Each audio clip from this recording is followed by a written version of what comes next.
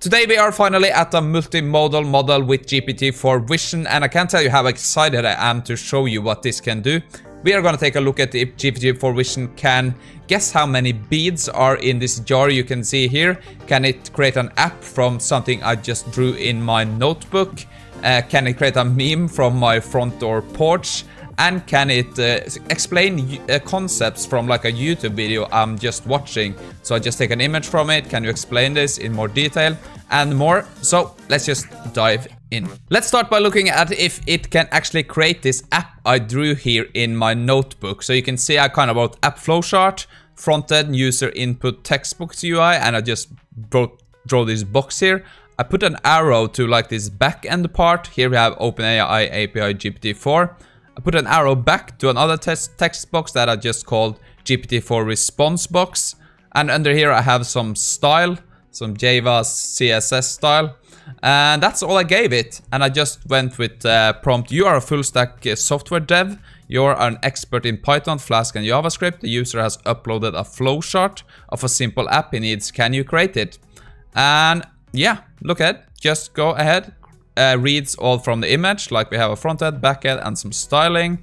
It goes straight ahead and creates some type of code. So this is the backend part. This is the front end using HTML, JavaScript, and CSS. And yeah, that's about it. And I just asked how I use this. So basically all you had to do was copy this into like a notepad so I copied the backend, I copied the front end. So I just went ahead over to my notepad. I pasted in the app.py here. So this is like the Flask app, right? Uh, I had to put in my OpenAI key here. And we are using the TextDaVinci 003 model. We have an index here that is basically an HTML file with the UI.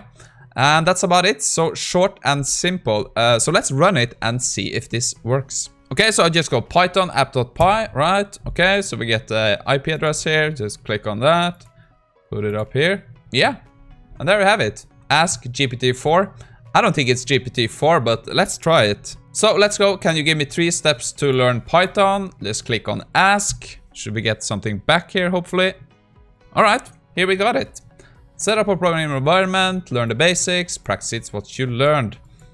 Okay, so that was a very simple app to create just from the image I drew in my notebook, right? So I thought that was pretty cool. Uh, I'm gonna try to make a more advanced version of this going forward, maybe later this weekend. We will see. But anyway, that was cool. Let's move on to the next part. So I found this very interesting study that people try to guess how many beads were in this big jar here. So I kind of used the, this image we can see here. Uh, the answer is 27,800.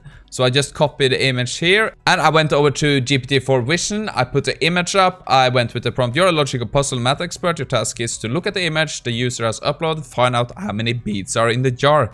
Take a deep breath, solve this problem in a step-by-step -step way. Okay, so you can see it kind of broke down. It needs to estimate the jar's volume. It needs to estimate the volume of a single bead. Calculate the total number of beads. Uh, okay, so it didn't have any exact measurements, so I just went try your best with the information you have access to from the image. So it's gonna try to use the man's hand and head as a reference. Let's estimate, right? And for the bead, it's gonna use details on the man's shirt as a reference. So I thought that was pretty smart, so it's gonna try to look at this part to try to understand how big these beads are, right? That was pretty cool and it's to calculate the number of beads. So here you can see it kind of goes ahead, does all the calculations on the formulas it had picked, and it ended up with 27,000. I like, I almost passed out because you can see the answer is 27,800 and I thought, no way, that can't be true.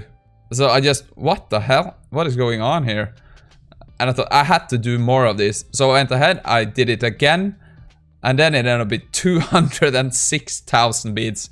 So I was kind of, oh, thank God. That, that was pretty scary, right? Uh, uh, and I tried again. And then 15,000 beads. I tried again. 60,000 beads. So it's all over the place. Uh, but for just for fun, I tried to look at the first prompt we had and I gave it some more information. So I, I kind of forced it to estimate the volume from the man's shirt as a reference of the bead and using the man's hand and head as the reference. So this is more kind of like a, a few shot prompt, right? But then it got better. Now it gets 24,000 beads. So it seems like we can use uh, few shot prompting here to improve the results. So we're gonna be exploring that more uh, during our next videos, of course. Uh, but I, I, thought it was very interesting because I thought, what the hell, was that the correct beads the first time? No way. Uh, but as you saw, that was probably just random luck. Uh, but very cool. Uh, I like it. I like the the way it broke this down, like in a step-by-step -step way. So that was cool. Uh, but anyway, let's move on. So I was watching this video on YouTube here from Yannic Kilcher. You can see he's talking about the prompt breeder paper. Uh, and he's talking about this. So I thought I just, why don't I pick up my phone, take an image of this screen here, right? And try to ask GPT um, Vision if it, it, can explain this to me. Uh, so I just went ahead, I took this screenshot here, right? And I prompted, can you explain what I'm looking at on this YouTube video? Take a deep breath and explain it in a step-by-step -step way. So here it goes through every single thing we can see in the in the image here. The main heading, initializing population of task prompts and mutation prompts, thinking styles and mutation prompts, sample instructions, LLM, mutation operations. So it went very, very deep into this, right? Persons, person in the video is clearly the host or educator. He's holding a pink object. That was cool. Uh, and then I go ahead, just based on this, can you give me an example of a prompt or a muted version of this prompt? And I thought this was very clever because I didn't have any like good examples. You see we have some examples here. And it just went ahead, created like this original prompt, solve the following algebraic equation x plus 5 equals 10, using thinking styles and mutation prompts. So uh, thinking style, let's think step by step. So break this process down step by step. Make it more fun. Imagine you're a detective trying to find the value of x, solve the mystery with equation x uh, hypermutation. In a world where numbers are mischievous, X is hiding. Go on an adventure and find the value. So start isolating X on one side once you've done that. Uh, so I thought this was very helpful because looking at just this image is kind of hard to get what's going on, right? But when I asked this uh, like this, I kind of understood it right away. So I'm definitely gonna be using this when I'm watching more of a complex videos uh, online. So just on my phone, just take an image of the screen, ask about it while the host talk, right? So I thought that was pretty cool. Uh, but yeah, let's move on. Next, I wanted to find out if GPT Vision can be funny. So I have this kind of funny number on my house. So it's um, the address is 69. And we got this old stool was just standing there. So I thought, why don't I take an image of my front porch? And I went with the prompt, you are an on-the-edge comedian similar to Ricky Gervais. Create a funny meme from the image the user uploaded. So if you see the image, it's basically nothing. It's just a door, 69, and this stool and this lamp, right? Uh, and I thought, I thought this was quite funny, actually. So uh, the first one was when you tried to be edgy with your house number, but the only thing getting attention is the your three dollar garage sale stool. So I think that was that good. So when you decorate your porch in a minimalistic chic, but all anyone notices is the stool from the kindergarten. Uh, okay, but I thought these two ones here was very good. So house number 69, decor budget 69 pence, stool self-esteem priceless. Uh, okay. uh, but this one I really liked. So house number says adventurous. Stool says I've seen things. I thought that was quite good. Uh, so I even put this up on my YouTube and other people found this funny too. So yeah, I guess you can use GPT-4 Vision to create memes. So this is an area I'm definitely gonna explore more, right? Okay, so I actually drew something more in my notebook. So here you can see I tried to replicate the original GPT-4 which GPT-4 video, right? Where he drew that website on that napkin. So I just put my website, I put a header, image, flowing text, image, and we have body, footer, uh, yeah, header, right? And that's about all I gave it. So you're an expert website creator, expertise in Java and HTML. Can you create a website from the image the user has uploaded. It should have a 90s hacker theme. Okay, right? Uh, and just went straight to the job, created a full HTML, right? Uh, and would you mind adding some cool JavaScripts to the site? I just put that in. All right, just went ahead, created this thing here.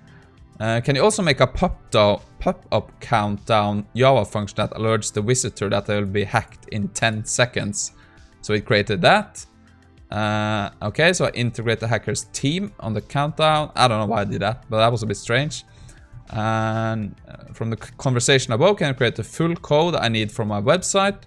And here we have it. So that was the full code, right? So what I did, I just copied that, went over to my notepad, and I just saved it as an HTML file here.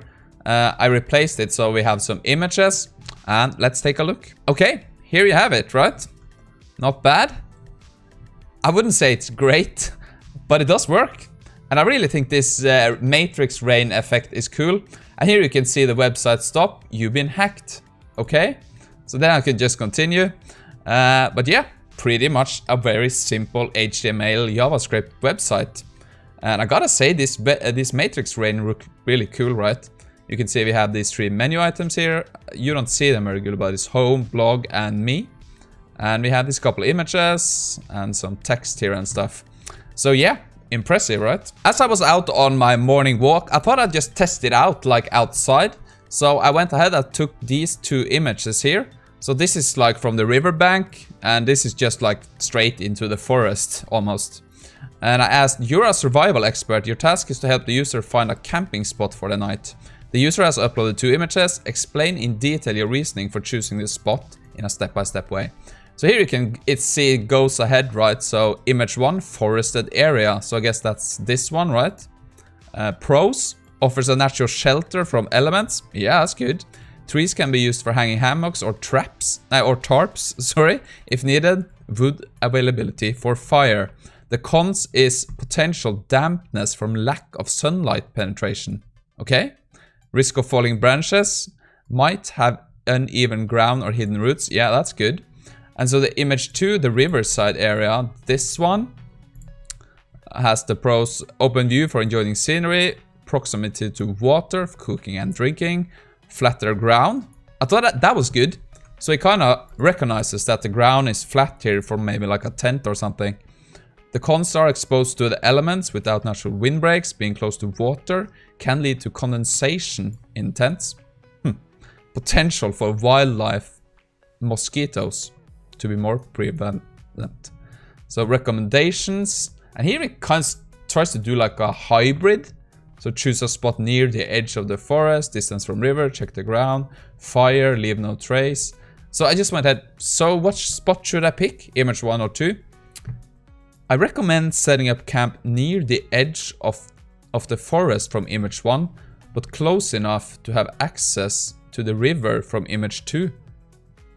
So that was a bit strange. This way you can enjoy benefits of both locations. So that was edge of the forest from image 1, but close to have access. Okay, so it kind of means down here then I guess. Or is it up here? I don't understand. Uh, but I thought it was cool anyway, right? I really like this breakdown here and all the pros and cons. So yeah, Impressive. I also saw this, so I just asked, can I eat this? The fruit appears to be a rose hip, which is the fruit of the rose plant. Rose hips are generally safe to eat and are rich in vitamin C. They can be used in jams, jellies, syrups and teas. However, it's essential to be cautious foraging for wild plants. Many lookalikes can be toxic. Before consuming any wild plant, check check, you should remove the inner seeds and hair from the rose hips as that, that can irritate it if ingested. Uh, so yeah, I thought that was cool. So I checked this up. Uh, yeah, it is of course a rose hip because I knew that when I took the picture. I also asked, so what kind of flower is this? I just saw that. Uh, this is a species of geranium referred to as crane's bill. So I checked that up and yeah, that was the crane's bill flowers. Uh, I wouldn't know that. So again, very cool. I also had this picture of a trip I took last week. So this is like a mountaintop in Norway. And I just ask, you're a GeoGuessr expert. Take your best guess on where I am in this image. Take a deep breath, think about it step by step. Sure, I'll give it a try. So I look at topography, So shows combinations of fjords, steep mountains, valleys. Such fjord landscape is typical of Scandinavia, particularly Norway. So that's spot on. It look at the vegetation, settlements. So there's a small village down the valley. That's right. Water bodies. That's the fjord right inside here. Mountainous terrain. Perfect. And taking all clues into account, my guess, uh, best guess would be location somewhere in Norway, possibly along the western fjord region. And that is also correct. So, well done, GPT Vision. I play a fantasy game for Premier League, so I just uploaded some stats here. So we have the league table or the team's statistics. We have the upcoming fixtures. We have some statistics for players. And I just asked, uh, I've uploaded some images about FPL. Can you help me find the best defenders for the next three game weeks? And he goes straight ahead, analyzes the image. So he looks at the team defensive performance. And he looks at upcoming fixtures. Yeah, that's very good. Uh, so as you can see, it even gives like a small description of each, each fixture. Looks at individual player stats. Yeah, perfect. And it recommends some players. And I know a lot about FPL, and I gotta say, very good. It only spelled this name wrong. It's supposed to be Trippier. Uh, but other than that, well done.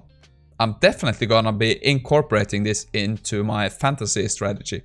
Finally, uh, I was just watching some episode of Office, so I just said, I really like this TV show, can you recommend similar show? So I took this image here, right? Just a screenshot. Of course, based on the image you provided, which appears to be from the Office US version, here are some TV shows you might enjoy. Parks and Recreation, Brooklyn Nine-Nine, 30 Rock, Arrested Development, Community, The Office UK version, Veep, Modern Family. Alright, now I got something I should check out. I haven't seen Veep, I haven't seen Brooklyn. I really like Parks and Recreation, so another use case that works well, right? I guess you could just write The Office, but I thought it was cool to incorporate this. Uh, but yeah, that's my first impression of GPT Vision, and I gotta say, I'm really impressed so far, and I'm really excited to explore more, so I'm probably gonna be making a few more videos this weekend about uh, GPT Vision because I got a lot of other ideas. We're gonna go deeper into more complex stuff. So watch out for that. Other than that, have a great day and I'll see you in the next one.